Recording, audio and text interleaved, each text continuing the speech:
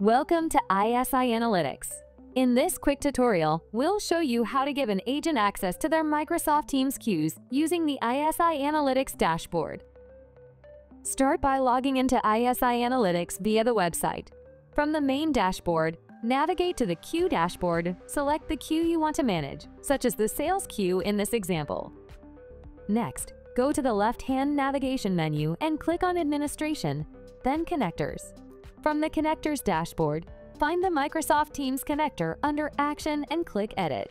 This opens the Teams connector configuration settings. Here, navigate to the Queues tab, where all configured queues are listed.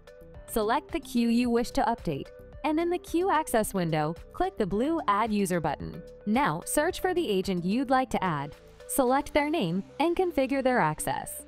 Once the agent is added, they will have access to the queue dashboard specific to their role. To confirm, log into the agent dashboard. From the main dashboard, navigate to the queue menu and select the agent dashboard option.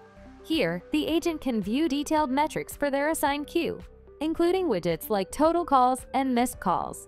For example, clicking the Total Calls widget will display detailed call activity. In the same way, Clicking the Missed Calls widget displays a list of missed calls in the queue, helping agents stay on top of their workload. Agents can also customize their dashboard widgets.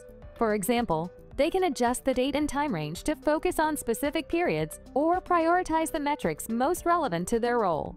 And that's it. You've successfully given an agent access to their queue and enabled them to view and manage their Microsoft Teams queue metrics. For more tutorials, visit our website and knowledge base, or reach out to our support team. Thanks for watching!